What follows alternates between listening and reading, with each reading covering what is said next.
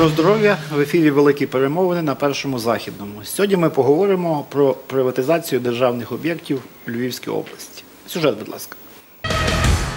Окрім львівського ювелірного заводу, який мають виставити на продаж, віддати в приватні руки, також планують і 48-му колонію, яка нині не діє і є об'єктом Міністерства юстиції. Приватизація львівської колонії відбуватиметься в рамках спільного проєкту фонду держмайна і Міністерства юстиції України. Велика приватизація в'язниць. На переконання керівників останніх утримувати закриті установи, які не виконують своєї функції, є невигідним для держави, оскільки це мільйонні щорічні витрати. Нагадаємо, 48-ма колонія розташована на земельній ділянці площею понад 10 гектарів на хуторівці 2. Стартова ціна об'єкта 132 мільйони гривень. Загалом на прозорі аукціони по Україні планується виставити на продаж майно понад 30 виправних закладів, що перебувають у законсервованому стані. Стосовно львівського слідчого ізолятора, який розташований на Городоцькій, його наразі не продають. Щоправда, про перенесення СІЗО з центральної частини Львова уже говорить з 2014-го. Новий ізолятор на понад 800 арештантів мають збудувати на вулиці Збиральній. Уже роздержавили на Львівщині Раваруський спиртзавод. Фонд держмайна продав установу держпідприємства Укрспирт за трохи більше ніж 31 мільйон гривень. Загалом в 2021 році фонд держмайна планує продати в Україні понад півтисячі об'єктів. З них півсотні об'єктів великої та середньої приватизації. Також слід зазначити, що дохід від приватизації в минулому 2020 році становив 2,5 мільярди гривень. Отож, наші гості Степан Куйбіда, директор департаменту економічної політики Львівської обласної державної адміністрації. Доброго здоров'я. Вітання. Владислав Калинець, керівник регіонального відділення фонду держмайна по Львівській, Закарпатській та Волинській областях. Доброго дня. Наші вітання. Віктор Кощенець, начальник західного міжрегіонального управління з питань виконання кримінальних покарань. Доброго, Доброго здоров'я. І пан Микола Іщук, депутат Львівської обласної ради. Ну, хто почне? Плюси і мінуси? Обласна адміністрація чи фонд? Ну, тут, напевно, фонд має більше, що похвалитися, то ми почнемо з фонду, а вже потім Давайте, прошу. Та, ну я хотів, можливо, навіть не то, що хвалитися, як сказати, е, для чого, для чого робиться приватизація, що ми продаємо, бо ми продаємо не те майно, яке там генерується в постійному якомусь виробництві, що воно там планово виробляється і так далі. Фонд держмайна е, разом з органами управління зараз впорядковує ситуацію з точки зору е, того, е, яке майно зараз органами управління, це є міністерство відомства, як органи управління вони функцію виконують, які не використовують по призначенню. Тобто будь-яке якесь виробництво чи інші якісь органи, які створені, він створений під певні фу- функціональні завдання. І виходячи з тих обставин, які зараз є в економіці, з тих, е, тих можливостей, потреб економіці, е, деяке майно не використовується по призначенню. І один з варіантів вирішення ситуації з точки зору ефективного є приватизація або оренда такого, такого державного майна. І, зокрема, ми е, переважній більшості те майно, яке виставляється на приватизацію, це якраз майно, яке е, не має зараз свого функціонального використання на практиці. Хочу вас зразу перепитати, ці спиртзаводи, які були продані, які от, е, вони не функціонували вже? Вони були законсервовані. Так, от е, коли почалось розглядатися Давно? От Раваруський давно? Рава Руський, зокрема, був законсерв... діяльність припинив в грудні е, 2020 року. Ну, тобто, Перед це, не, це не так. Перед, перед приватизацією. Він був збитковий? Е, дивіться, ми е, зараз за це розкажу за спиртзаводи, якщо цікавлять спиртзаводи. Дійсно, людей Е, коли, коли почалися, коли взагалі почалися процеси розгляду варіантів е, приватизації спиртзаводів, було е, проаналізовано спирт. е, Ми заводом це так називається, бо це взагалі є концерн, державне підприємство Укрспирт, і в ракурсі того він має на місцях е, свої підрозділи, місця проведення діяльності та збереження спирту. Тобто весь баланс і облікова політика ведеться державним підприємством Укрспирт. І е, таких заводів розглядалося 78, із них 43 заводи, які не працювали. Тобто до того, як переглядали, Це всього, всього в Укрспирту 78? Чи 78 розглядалося? 78 концернів Укрспирту Взагалі. заводів, та з них 43 не працювало. Не працював. І, е, зокрема, в першу чергу виставлялися на приватизацію у 2020 році приватизовувалися виключно спиртзаводи, які не були в робочому, е, не в робочому стані. І, е, тобто ці заводи, вони, до речі, збережені достатньо добре. Тобто, коли проводився аналіз даних заводів, е, була проведена інвентаризація тих заводів. Е, Заводи не працюють, але вони були під охороною і технічно вони були підтримані в консервативній в такій консервації хорошій. І, зокрема, зі слів спеціалістів, коли ми оглядали такі заводи е, на місцях, спеціалісти казали, що їм достатньо там декілька тижнів для того, щоб відновити виробництво на експертзаводах. Вимога по приватизації, щоб це був далі спиртзавод? Зокрема, по спиртзаводах, так, е, там є дві, дві ключові позиції з точки зору вимог. Це збереження до 1 липня, бо це про, по загальній програмі приватизації спиртзаводів передбачається. Це є така програма, яка затверджена Кабінетом міністрів. І до 1 липня е, 2021 21 року так, е, має бути збережені е, поточні е, вид виробництва. Тобто це, Ну, це, а потім на хазяїн пізніше, барін. що- як, е, так, е, можливо, друг. І другий це соціальна складова, це збереження е, 70% е, працівників, які працювали на виробництві до моменту приватизації. Скільки, наскільки який термін оця соціальна складова? Соціальна складова є до на півроку. На півроку. Ну це не, не багато, скажи- скажімо прямо. Там багато людей працює на спиртзаводі, дійсно ніколи не було. ці от в Львівській області це є 6 спиртзаводів. Зараз 5 вже є продані, це надійшли кошти. Зараз шостий, як було сказано, сьогодні Раваруський проведений аукціон. Він ще не придбаний, тобто він Ну, не має не, не статусу. прийшли кошти вам на рахунок. Так, він не має ще зараз статусу такого, е, такого об'єкту, який вже проданий.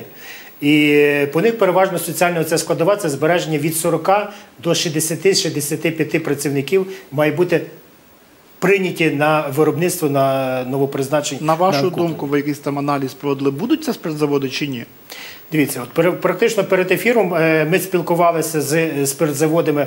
Зараз власники ті буквально перші спиртзаводи продали були е, 28 листопада 2020 року. Це були продані перші е, відбулися аукціони і надійшли кошти. Е, деякі спиртзаводи зараз ще знаходяться в стані впорядкування документів, дозвільних систем. Але е, от з тих шести заводів, з якими спілкувалися, чотири заводи продовжують відновили зараз роботу, тобто впорядковують також там свої е, дозвільні е, документи і проводять свою діяльність. Е, дивіться, тут практично економіка є. Тобто ми можемо аналізувати е, сама система, яка е, аукціонна, вона в принципі дала можливість, забезпечила точніше, не дала можливість, що на аукціони приймають, воно публічно є, на аукціони приймають достатньо велика кількість е, учасників. І це дозволяє, і це забезпечує те, що ціна є достатньо великою. Тобто це е, розглядають ж різні аспекти там е, по потенційно е, потенційні інвестори. І оці об'єкти продані за ціною приблизно 50 риска 60 мільйонів. От на моє трошки здивування, е, Раваруський, ну ми очікували більше. По Раваруську він проданий і зараз ціна задекларована купівлі 30, там, як було сказано, 31 мільйон. Ми очікували за літо більше, більшу кількість учасників. На жаль, е, відбулося те, що відбулося. І ну, по крайній мірі, ми сподіваємося, Які, що на, які на черзі? Е, наступне, ми, ще, ми недавно буквально ще також не надійшли кошти, бо в підпорядкуванні от регіонального відділення також є Луцький, е, е, Волинська область. І також відбувся аукціон, але ще не, не надійшли кошти. Це в Луцьку там, е, ціна в районі 55 мільйонів. Ну так ви розраховуєте. Так, і ми так розраховуємо, ну, ці ті кошти будуть. От попередні е, заводи, це Сокодільський, Лопатинський ми прода- продали були, е, Раваруський е, і е, Борок, то ціна переважно складала 50-60 мільйонів, в районі 50-60 мільйонів. Ну тут різке падіння. Так. Степане, плюси, розказуйте про плюси, але хочу почути якісь мінуси чи загрози. Чи, чи все в такому Дивіться, я, райдужному я все ж таки, знаєте, прихильник в цьому всьому процесі більше говорити про е, плюси. Чому? Ну, скільки там пам'ятаю навіть свою роботу в обласній державній адміністрації, то дуже часто з Києва е, лунали оці гасла, що друзі, ми там неефективно використовуємо майно, давайте йдемо шляхом малої, великої приватизації. Тобто це все активно обговорювалося, а коли доходило до якихось певних дій, так, то ми постійно щось нам, як танцюристам, заважало. Так? Тут ми насправді бачимо хороші зусилля фонду держмайна, і я розумію, тобто, скільки їм це, знаєте, такої робочої крові коштувало, щоб цей процес е, запустити.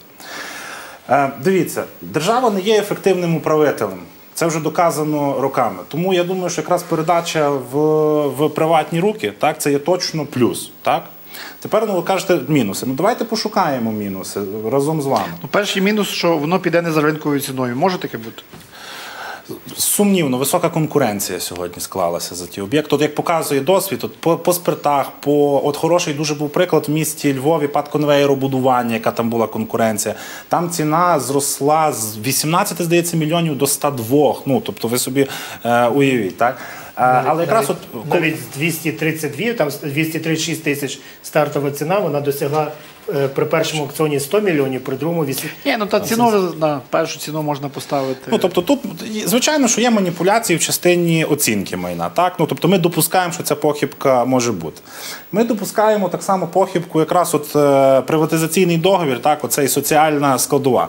Тобто, якщо ми будемо, знаєте, йти таким шляхом, а давайте ми до чогось не йдемо доколупатися, то ми точно таких позицій зможемо собі повиписувати. Це така, знаєте, презумпція доброчесності застосування норми закону. Тобто, якщо фонд буде це е, з органом управління робити правильно ефективно, то ми будемо мати тільки хороші. е, ще не було ніяких сигналів там ну, зловживання, не були відмінені ніякі. Ні, торгів ще як таких, е, ну там е, шляхом там чи кримінальних проваджень, чи судовими рішеннями такого не призупинено, не відмінено. е, На щастя, не було. Звичайно ж, там якісь там є. Це, Це- ну дивіться, в кожному процесі буде хтось незадоволений. Це і процедура нормальна. Але я оці речі, які сьогодні робить фонд держмайна, я оцінюю їх позитивно. Подивіться, от ми говорили про спирти, так? От ДП Укрспирт це скільки? 78 підприємств, з яких 43 на ладан дихало. Керівник з 15-го року щорічно мінявся. Тобто ми розуміємо, що сталості менеджменту там ніякої не було. Тепер, а що говорять аналітики? Що в 8-му, наприклад, 2008 році там ті- е, тіньовий сектор е, якраз галузі спиртової складав там 8-10%. Так? Тепер е, ми, е, ну, аналітики говорять, що це там від 45 і вище. Ну, тобто розумієте, та, що, ну так, простими словами, кожна друга пляшка, яку ми купляємо в магазині, вона якусь там має оцю таку складову специфічну. І з цим треба боротися. Якщо ми це від... Це не дуже важко, в принципі, боротися. Мені розказували спеціалісти, що будь-який спирт від одного заводу відрізняється від іншого, е, показує аналіз, де взявся цей спирт. А ви от, от наших, При бажанні от це наших все- виробників запитайте, наприклад, де вони закупляють спирт.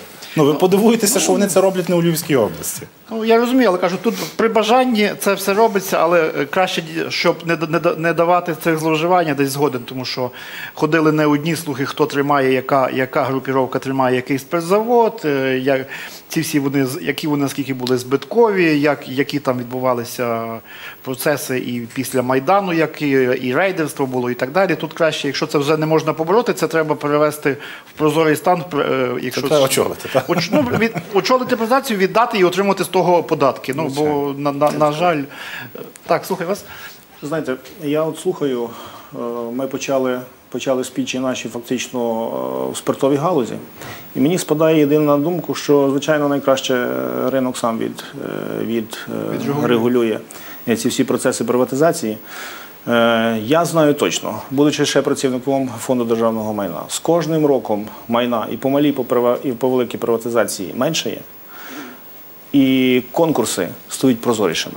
Особливо сьогодні. Я не думаю, що це заслуга фонду державного майна окремо, як органу управління, тим більше як він як орган управління майже ніколи себе не реалізував, е, але це фактично була функція пріоритетом е, Кабінету міністрів. Хоча у фонд, е, законі про фонд державного майна в третій статті чітко записано, що поруч з Кабінетом міністрів фонд державного майна є окремим органом управління. Але ні по малій, ні по великій приватизації вони такої функції не виконували. Тому зрозуміло, є ціна, є конкурс, він є прозорий.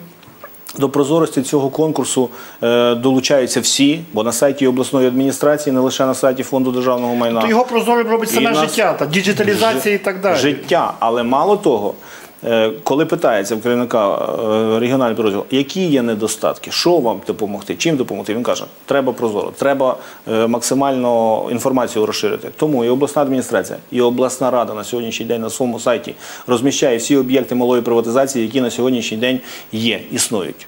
Я би говорив на сьогоднішній день про інші речі Кажіть. держава Україна втрачає монополію на виготовлення спирту. Ми почали говорити, добре продали.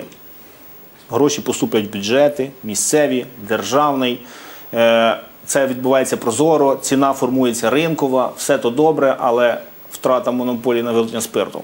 Я е, можна сьогодні пригадувати інші монополії, які втратила держава. Я думаю, що саме продаж об'єктів спиртової галузі на сьогоднішній день можна охарактеризувати одним простим реченням: втратили контроль, взяли і продали. Так і є. Треба було продати тоді, коли контроль ще тримався. Я не хочу говорити ні про сьогоднішню владу, ні про ту, ні про тамту. Але справа в тому, що ні один за це не взявся. Як то кажуть, ну да, до честі теперішньої влади, що вона за це взялася, але я не думаю, що це ринкова ціна на сьогоднішній день. Жодного насправді, як- жодного насправді дивіться, я вам скажу так.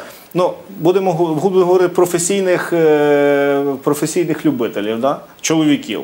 Є на сьогоднішній день дистиляція, є ректифікація. Що таке спиртові заводи? Це фактично ректифікати, які розводять водою, виходить, горілка. І кожна держава, в тому числі пострадянський Союз, так весь 100%, це була монополія держави. І це був єдиний постійний стабільний прибуток до держави. На сьогоднішній день держава не відкриває дистиляцію як виготовлення як бізнес для фізичних і юридичних осіб, але вона продає ректифікацію. Продаючи ректифікацію, вибачте мене, попит, споживання. Це ж не лише харчовий спирт. Так?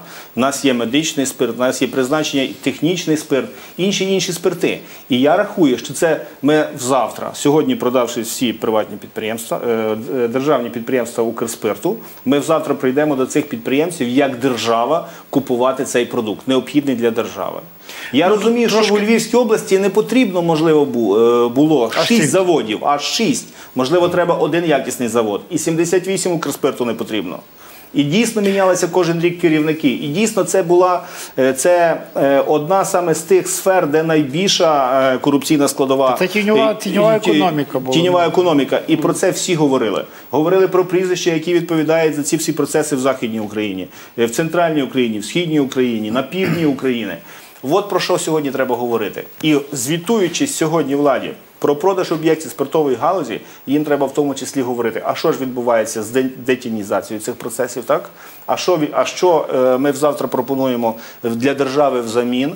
А які заводи і чи держава визначила такі заводи, які мають лишитися в державній власності, і чи вони будуть за- забезпечувати е, об'єм необхідний для держави, для медичних клінік, які на сьогоднішній день державними і комунальними, розумієте, для інших виробництв, які на сьогоднішній день також Це державними. філософія підходу, чи, чи, Філософія ринок, чи, ри- чи, підходу. чи ринок буде це регулювати, чи держава буде втручатися. ви абсолютно зрозуміли і вловили мою думку.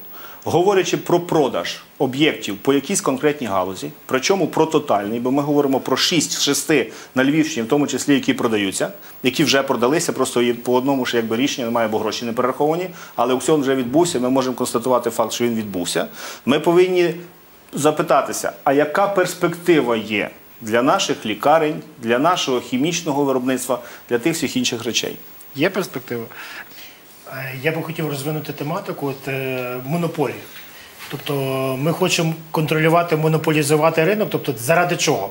От Заради, яких- держави, заради прибутків, за- надходження в казну, заради забезпечення е, медзакладів, якщо ми про спирт говоримо. Ну, Дивіться, тобто саме я- найбільш я- необхідним. Я трошки Ми живемо в час пандемії. Я дуже здивований, що спиртові е, заводи такі ну, зупинили діяльність, тому що ну, спирт зараз. е, я пам'ятаю, який був гвалт, як купляли, всі розбавляли чим-небудь, щоб замість того, щоб мити руки милом, всі, всі почали, була мода півроку пшикання. Я не дарма почав говорити про те, що ринок сам відрегулює себе. Вільна рука ринку. Але розумію, про що ви хочете сказати, ми повинні все-таки лишати як держава за собою механізми НЗ. державного регулювання. Регулювання. Бо механізми державного регулювання в кожній сфері вони є абсолютно доцільними, як показала практика не тільки наших країн і не тільки європейських країн. А я пам'ятаю, е, всі вчили історію там 30-х років, 20-х, е, тих самих Сполучених Штатів Америки, де вони завдяки регулюванню е, справилися зі своєю кризою. І не буду переходити на інші сфери, говорячи про державне регулювання. Давайте будемо говорити про приватизацію. ви сказали про постачання. Це насправді на початку пандемії була колосальна тема ну, для дискусій з Києвом. Ми, ми постійно трезвонили їм. А проблема виглядала доволі просто. Я там приїжджали до нас підприємці з Жовківщини, Стрийщини, казали, друзі, ми готові робити антисептики. Але ми приїжджаємо на наші спирти, а нам кажуть, шановні колеги, ми вам, типу, дульку з маком. Ви їдьте в Київ, погодьте, щоб ми вам тут могли продати. Ну, тобто, розумієте, маразм цієї всієї процедури. Мало того, якщо вже ти навіть десь там поїхав в Київ, це погодив з ДП Укрспирт, тобі тут продали, ти виготовив цей антисептик, то потім треба знову їхати в Київ. Отримати Ага, щоб ще пройти ту всю дозвільну процедуру. Крім, ну тобто є стандартні поняття стандартизація, сертифікація. Це типу must be, це не обговорюється. Але ще ці речі там потрібно в мозі пройти, там і так далі, і так далі. Тобто тут. Ще якщо до цього всього би додати трошечки я- дерегуляції, Я, правильно, я можу навести вам дуже величезний приклад е, бездумної приватизації найважливішого ресурсу, відновлюваного, до речі. Бо ми знаємо точно, що в нас в Україні не так багато відновлюваних ресурсів. Найбільший відновлюваний ресурс, будемо говорити, це людський ресурс. У нас є проблема, так? Я рахую, що земельний ресурс один з найбільше відновлюваних ресурсів. Ну, Ми всі пройшли шляхом приватизації і отримали розпаювання земель сільськогосподарського призначення. Але на сьогоднішній день держава не забезпечує збереження ґрунтів, не забезпечує Ну, це дотримання інша тема, сівозмін. пане Це Микола, тема згоден. інша, але Я- вона але- дуже сильно нагадує Я розумію, я- роздержавлення спиртових Солідар- заводів. солідарний Ми сьогодні, я пригадую одного, е, одну свою одну партійку. Конкретно з Радехівського району. Конкретно вона е, всі, всі зрозуміють про кого йде мова, тому що це головний редактор місцевої газети, до речі, районної, яка роздержавлена. І вона пише в соцмережі на сторінці Фейсбук моєї, коментуючи якийсь пост, в нашому селі можна купити в кожному спирт. На сьогоднішній день заводи приватизовані, ще вчора вони були державними, так? але спирт купити можна.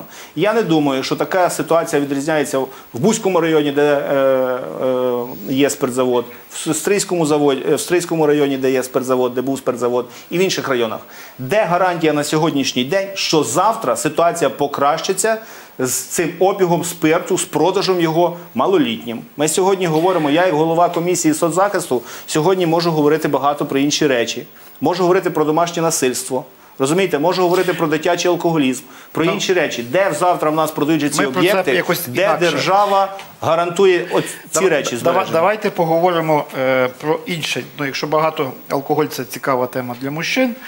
Е, він багато е, дає некорисного і так, і так далі. Приватизація людей, які е, знаходяться е, з закладів, як, як би це правильно сказати, Е, пане Віктор, хочу. Виконання покарань. Ну, тобто тюрем. Е, Так, що, якщо якщо по, стара по, назва по, тоталітарного по, режиму, то Розкажіть, що відбувається у Львові, а ми це якось обговоримо. Ну, я так Плюси і мінуси. не, не почну конкретно зі Львова, а з, з усієї західної України. У нас будь ласка. є 27 діючих установ, вірніше 27 установ, з них 16 діючих і 11 оптимізованих установ. Що таке що означає оптимізована? Установа, яка е, законсервована і е, в ній не перебувають особи, які відбувають покарання. Е, А що там відбувається? Це, це відбувається просто охорона такого державного майна нашими працівниками.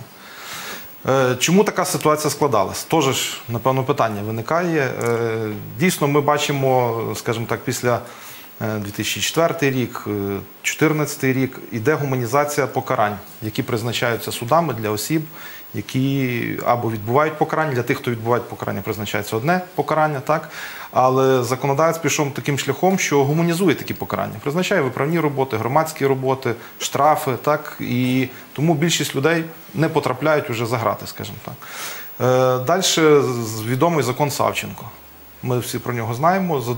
І в результаті застосування такого закону також люди повиходили з установ. Пішло розвантаження системи. Е, Ми розуміємо, що зараз, наприклад, в західному регіоні ми можемо утримувати 12 тисяч засуджених і ув'язнених. Скільки є в Наразі західному регіоні? зараз 12? є 5900. 5900. 5900. Тобто на 50% є заповненість установ. Ну, це ніби хороша цифра, з другої сторони, хоча це дуже такі, ну тут, тут не можна... Дивлячись на це- криміногенну ситуацію, ми розуміємо десь підсвідомо, що кількість злочинів, зареєстрованих в ЄРДРі, не зменшується. Але кілька- а осіб, які потрапляють і які суд засуджує до позбавлення волі, їх стає менше. Тому що застосовуються альтернативні е, види покарань. Це Відповідно, кожного року це йде така, ну, тобто тенденція... Тенденція йде до застосування, що суди застосовують е, такий вид покарання, як позбавлення волі, виключно за тяжкі тоді постає питання, що робити з, скажімо так, непотрібними. От, ви, ви продовжуєте якраз ту тезу, яку я хочу говорити. Що робити з такими установами? Якщо брати, ну, знову ж таки, західний регіон, е, є досить багато установ, які е, тоталітарна система робила на базі е, е, релігійних закладів, тобто церков або монастирів. Звичайно, що з такі установи ніхто не, не буде говорити мову про приватизацію чи продаж таких установ. Але є ряд установ, які Вони ще є зараз на балансі вашої? Звичайно, є. Це в Львівській області, це Самбірський, Самбірська установа. Ой, не Самбірська, Сокальська, вибачаю, Сокальська. І відомий монастир там з е, історією тисячолітньою. Е, Долинськ, е, Галицький виправний центр. І ще ряд установ, які дійсно ро- розміщувались в межах тих е, монастирів або церков. Їх будуть переведено на баланси? Їх Церков? е, розглядається питання проходити з такими, з такими установами.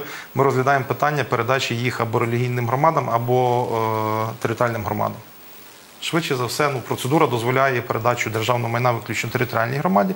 Територіальна громада, вже залучаючи релігійну громаду, буде Там, я думати, що перепрошую, з тендери якось будуть е, відбуватися Ну, греко-католики, православні, хто це буде робити. забирати? Будь ласка, ці питання до Ну, територіальних то я громад. так на, на, на пана Степана, до, влад, до влади де дивлюсь. Що стосується інших об'єктів, я думаю, що вже з тих роликів, е, які були відзняті е, з початку старту приватизації, всі побачили, в якому стані знаходяться такі установи. І один з таких яскравих прикладів це дійсно установа, яка знаходиться на вулиці Хуторівській, так звана 48-ма установа. У 2017 році, в зв'язку з тим, що вона не була наповнена е, більше ніж на 50%, а наповнена реально десь на 35% було, було прийнято ще рішення в той час її законсервувати, оптимізувати.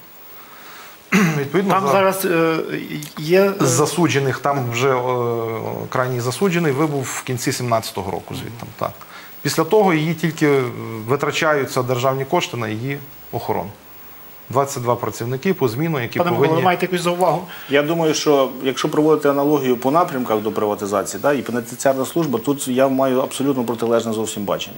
Але насправді, якщо наш шлях до Європи, то ми аж світоглядно рухаємося до Європи, не лише безпосередньо. Подивіться, як в них продати, ми маємо зробити Я не знаю, чи світоглядо помалу дуже. Ну, ми світоглядно е, близькі і так з Європою, але на загал треба і роз'яснювальною роботою, і безпосередньо роботою, і фактами, і результатами показувати свою приналежність до європейської спільноти. От приналежність до європейської спільноти, е, якість. відбу- Відбування надання Утримання фактично такої громадян. утримання наших Наших громадян, громадян, це є фактично дуже важливий світоглядний момент, елемент, який ми повинні показувати для європейської спільноти. Тому зрозуміло, що коли ці об'єкти перейшли з Радянського Союзу, а особливо тоді, коли вони. Е, Використовують приміщення монастирів, вони точно повинні Ні, ну бути без- ліквідовані. без вони точно повинні бути ліквідовані. І якщо є необхідність, якщо є необхідність передачі чи релігійній громаді, чи органам місцевого органам ОТГ, так у- передати цей об'єкт, то його треба передавати. Добре, що буде 48-ю? Так, я далі продовжу про і якраз свою тезу завершу, напевно, про світоглядні речі. Е, З 48 установу було прийнято рішення підготувати документи на приватизацію, тобто передачу е, відповідних документів до фонду держмайна, і фонд держмайна, відповідно, оцінивши їх і зваживши, запустив їх е, в приватизаційні процедури, оголосивши конкурс на придбання цієї установи. Які вимоги є? Ну тут зрозуміло, спецзавод Вимог, якесь профільне. Ну тут е, приватної вимог. тюрми там не буде. Звичайно, ну поки законодавство у нас так і не Ну, йде, у нас законодавство буде. Але я- зараз тобто націлюється на вимоги? установи. Вимог жодних немає. Тобто ми продаємо будівлі і споруди, які знаходяться на цій території. Дві, е, дв- е, продаж складається з двох лотів. Один більший лот е, це будівлі в кількості 46 об'єктів, які знаходяться на площі 10.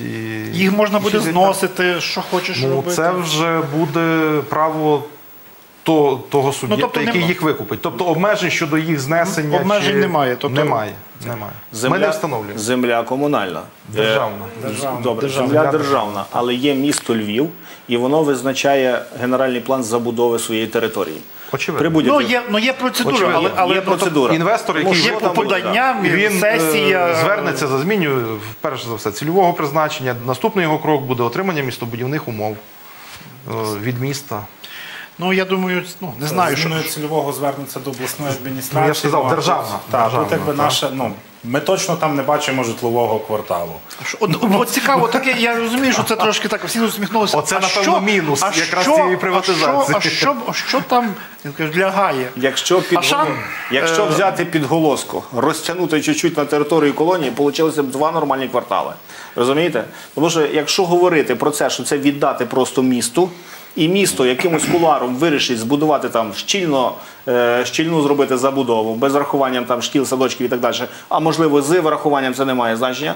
Але про місто Львів повинні думати однозначно і львів'яни, і влада і міста, і влада точно області. Тому що ми всі знаходимося і територіально в місті Львові. Ну тобто, ну але якщо це буде, ну буде, воно буде продано, я думаю, що тут будуть нюанси, але що там буде, що там збудують, ну точно не житловий квартал, так? Але ну але гарантії немає. Давайте так, нехай це вирішують депутати, які будуть давати містобудівні умови. Звичайно, гарантії, ви правильно кажете, гарантії точно, точно немає. Але коли я дивлюсь на такі об'єкти, я там в першу чергу хочу бачити економіку. От коли ви сьогодні згадали Сокальську е, тю- тюрму, Виправну так? установу. виправну установу, е, я просто там. Доволі часто проїжджав, я бачу там логістичний центр, наприклад. Ну, а Тому що там 48 відки. недалеко є Так. Шувар. Місце, е, воно і 48-ма, так намолене місце, але в гіршу сторону. Шувар теж намолене в іншу сторону. Там теж ну, там е, якийсь хаб, е, логістичний центр, назвемо це по-різному, але якісь торгові речі там абсолютно Ну, лягають. тобто, розумієте, як то кажуть, сам Бог волів там р- розвивати економіку і формувати додану вартість. Ну просто зробити там житлову забудову. Я там нічого не маю проти житлової забудови. Я розумію, що Але це потрібно, тупо. ринок має розвиватися, так, але, Ну, але, е, ну, банально. Е, Щоб ми так. за ну тобто, е, за яка яка ціна буде десь? Стартова ціна 132 мільйони. Розраховуєте? За Ну, повірте, як Ну, чим більше, тим ліпше. Звичайно, звичайно, для нас, тому що ми ж Були якісь вже ну, приїжджали люди, дивилися ж вже там. дві компанії цікавились. Не назвати їх? Е, Вони не представляли. Не будемо їх казати, бо вони обидві будівельні. Не, не, кол- не колишні ваші підоп- підопічні. ну. Ні. Ви, ви не знаєте. Я не знаю.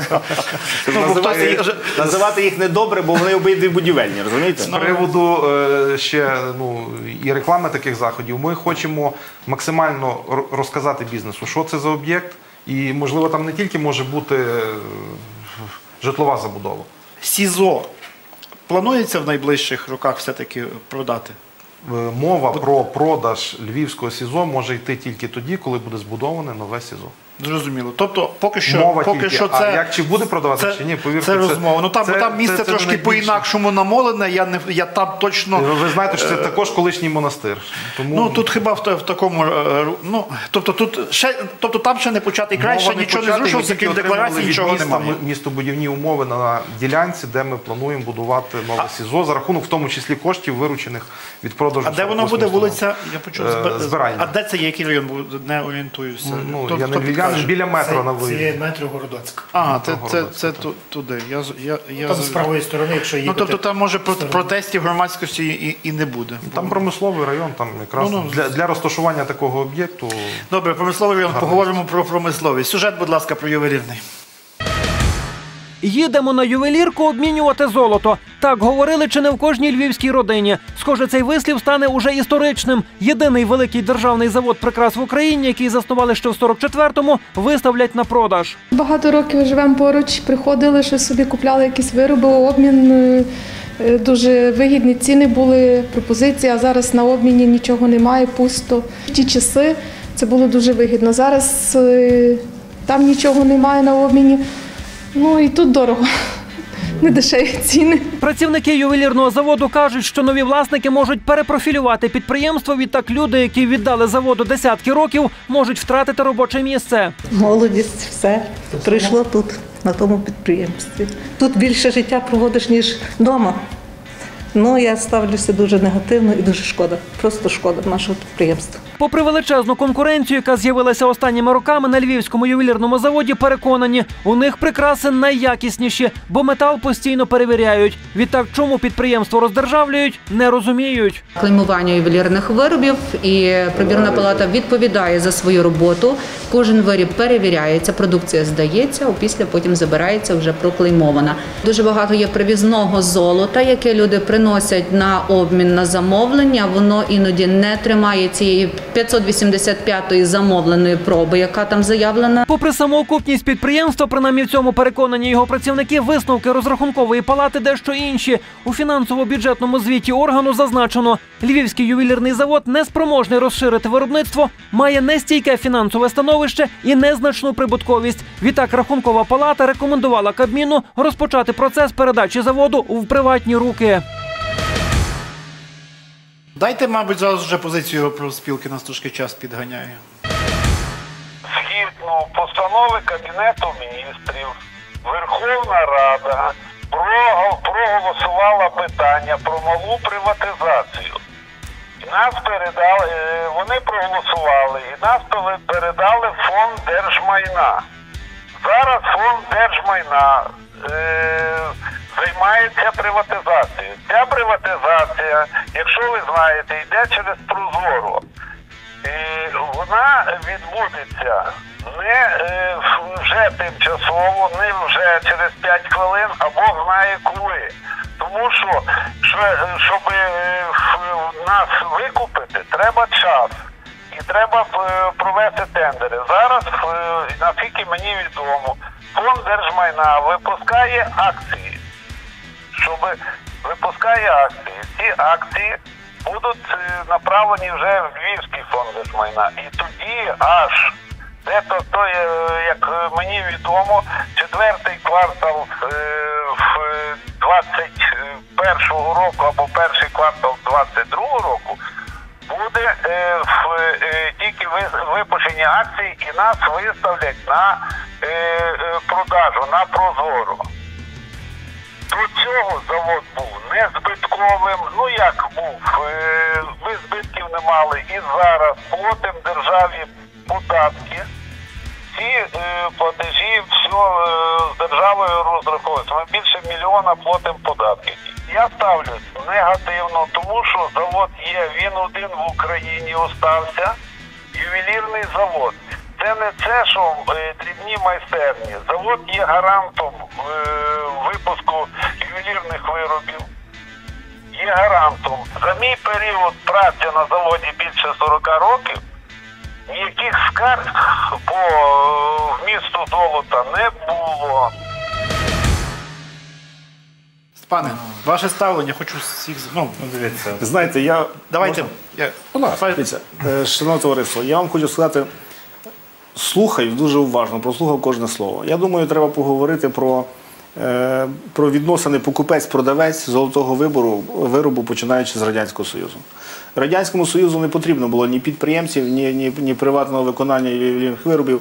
І потрібно було величезні заводи, де кожен громадянин Радянського Союзу міг прийти і купити одинакову сережку, одинакову обручку, хрестика він не повинен не міг купити, одинакову цепочку і інші, інші речі. І вони ходили сіренька, одинакова маса. Згодом законодавцями моди ювелірня, ювелірка таки державна лишилася, але появлялися приватні підприємці, які їм почали конкурувати. Конкуренція спочатку не вдавалася, бо все-таки об'єми. Але на сьогоднішній день конкуренція дуже добре вдається.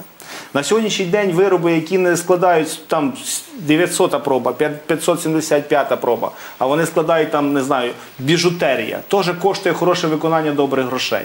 На сьогоднішній день велике підприємство, яке схильне виготовляти одну якусь планку ювелірних виробів у великому об'ємі на сьогоднішній день державі дійсно реально не потрібно. Звичайно, люди прожили, пропрацювали 30-40 років на цьому підприємстві. Їхня позиція зрозуміла. Але позиція держави повинна бути вільний ринок, вільна конкуренція. Не завжди це має бути золото величезної проби. Це має бути хороший виріб, який мені подобається, і я можу його купити абсолютно дорого, дешево. Це моя справа. Але мав має бути завод, згодьтеся, це реально Так. історія. Це Е, історія. Але це- Обручки е, 90% львів'ян мали звідти. Так, але на сьогоднішній день це зовсім інша стратегія е, держави. Тобто ви позитивно ставите Вона це? не про вона не ні- ніяким Ну, але він, бачите, він не збитковий. Тут Ну, є дивіться, тут справа. специфічна ситуація насправді. реально специфічна. Тому що дивіться, прості речі. Так, от ми кажемо, що він не збитковий. Формально, то може і так. Але якщо ми подивимося насправді їхню фінансову звітність, ми побачимо, що в них з 2015 року тягнеться колосальна заборгованість по, по податковій службі, десь порядка 30 мільйонів, правильно? Поза 30. Поза 30 мільйонів. Так? І вони, Не- не з року, так і вони з року в рік цю заборгованість е, відкладають шляхом е, ну, через суд. А так? був, був якийсь провал просто був, так? Е, Що так, це там наслідки неправильного менеджменту. І за ті роки Наслідки якщо- крадіжок 100%. Ну, неправильно. Менедж на 30 мільйонів один ра- разу. І тепер, і, і за ті всі роки завод спромігся погасити всього-навсього порядка мільйона. Так? Тобто ми розуміємо, що десь отой меч над ним висить. Але це, це одна складова питання. Друга складова питання. Ринок ювелірний. Так? Ми розуміємо насправді, що він і так само, як спиртовий, можна говорити про колосальну тінь. Що таке сьогодні ювелірний ринок? Це десь, напевно, як мінімум відсотків 30 турецького золота, яке, яке не, не витягує е, по якості, так, але по ціні може конкурувати з нашою ювеліркою. І всі, всі оці дрібні суб'єкти господарювання, які десь там легально купляють, напівлегально, вони просто демпінгують і завод апріорі не може з ними боротися. Плюс третя складова. Ми сказали ж на початку, що держава не є ефективним менедж, менеджером. І тут ми це так само бачимо, що держава цього не може зробити.